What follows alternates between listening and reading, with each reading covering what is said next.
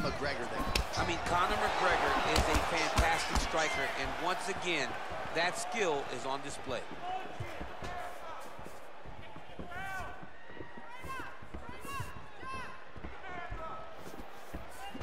Just missed with the straight left hand.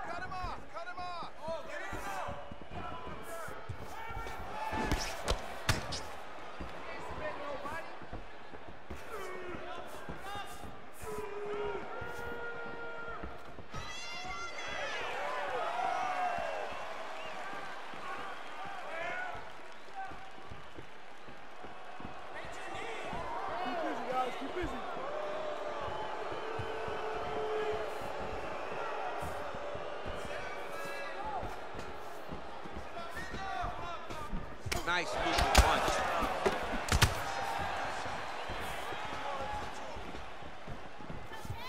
Right hook to the body.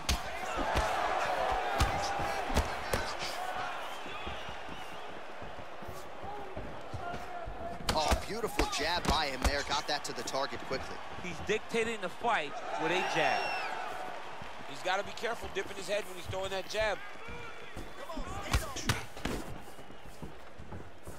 Whiffs on the right hand.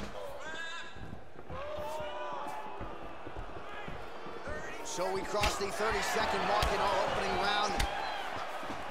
And he connects with a punch there. We'll see if there's more where that came from.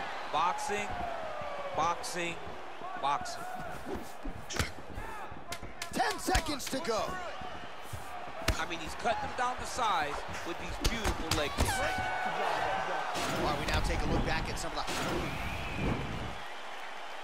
All right, here we go with our second round now. Conor McGregor versus Justin Gaethje.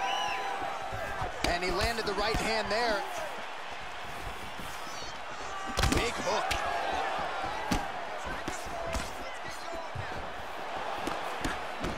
Oh!